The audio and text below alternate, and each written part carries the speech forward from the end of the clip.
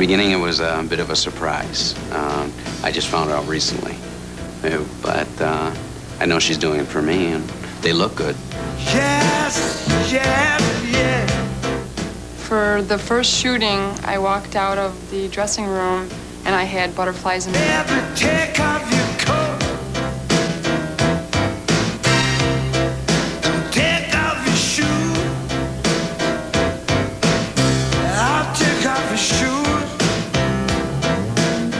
It may look like they're shooting a centerfold, but you won't find any of these fleshy fashion pinups in any magazine. These women are out to expose their photos to only one man. They'll do it for their husbands, boyfriends, for surprises, birthday presents, Christmas, Valentine's Day.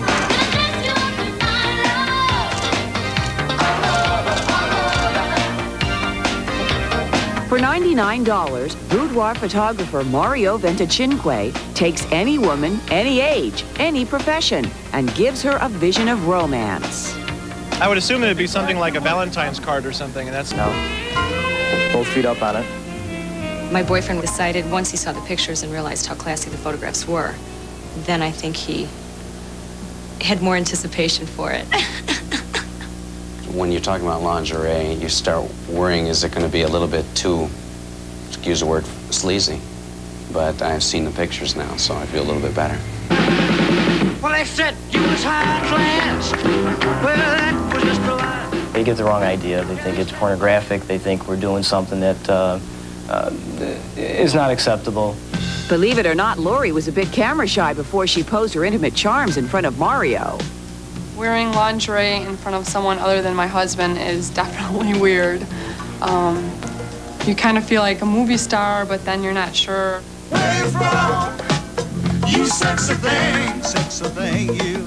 I'd say 99% of the time when they give the gift to their husband, the husbands really appreciate it. I'm taking pictures of her in, in her sexy lingerie. I was talking if I'd pay someone else to do it. We've heard that, you know, some husbands uh, weren't as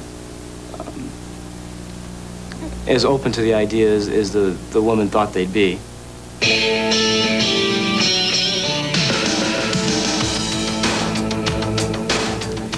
But with all the scanty wares seen in nightclubs, videos, and in magazines, does boudoir fashion seem too commonplace? I think it's an art. But they get the pictures too fuzzy. They keep putting the Vaseline on the lens to make it a fuzzy focused picture, you know? You can't see enough details. I like to look at lace. So whether boudoir fashion is tasteful or obscene, the real dilemma is where to hang the portrait. Most likely in the bedroom. It could be hung in the living room. I don't know yet if it's going to be life size or wallet. You can leave your hat on. Now, before you decide you don't measure up, you should remember that professional